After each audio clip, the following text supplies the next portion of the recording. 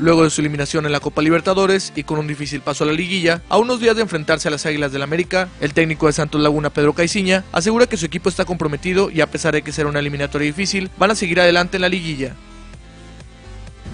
Un punto fundamental era llegar bien, en, en- en terminar bien la fase regular. No la terminaste.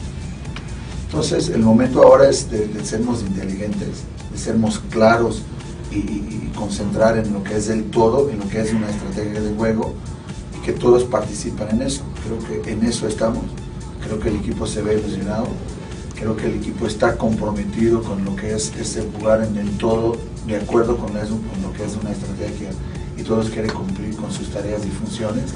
Y seguro que si de acuerdo con eso hemos- vamos a hacer bien las cosas. Va a ser un- una, una eliminatoria difícil, pero vamos a seguir adelante.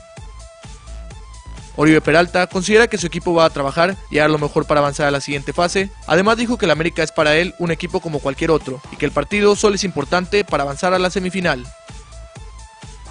Nos consideramos un equipo que vamos a, a trabajar, a, a dar lo mejor de nosotros por, por avanzar en la fase.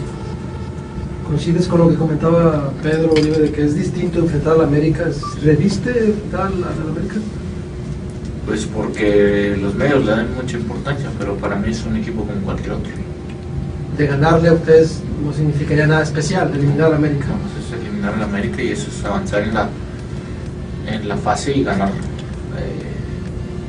un partido importante para nosotros porque te representa estar en una semifinal.